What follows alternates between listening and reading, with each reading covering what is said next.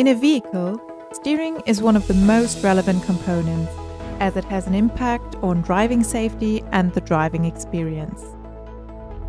The ECU optimization for steering, the steering system optimization, as well as the evaluation of steering feel result in high requirements for test systems. With the Steering in the Loop test bench, IPG Automotive offers the perfect solution to obtain valid results.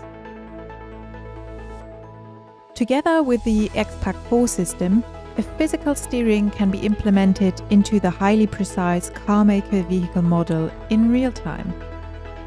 And it is controlled via the test bench, which transfers the correct steering angle to the steering system. In addition, the vehicle model is able to transmit the impact of environmental conditions to the steering through tie rod forces. This is enabled by a steering actuator with a dynamic torque up to 100 Newton meters and a steering velocity up to 1800 degrees per second. The high static and dynamic precision of the actuator elevate the performance and potential of the test bench to the next level.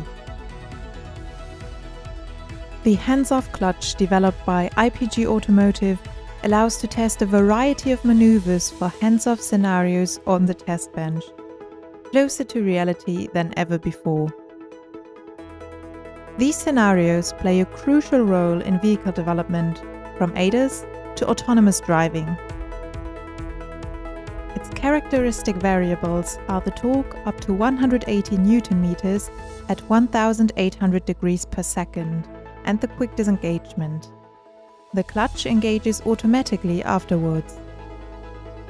Two linear actuators ensure the force transmission to the steering, while also considering simulated impacts of the environment and properties of vehicle dynamics. Due to the high force absorption, every test case can be covered. Simulated bumper forces are transmitted silently and precisely. With its powerful system components, this steering in the loop test bench allows to carry out tests reproducibly and with high precision. This facilitates testing of electric steering systems from the tie rod to the steering wheel, because a physical vehicle is not needed for testing.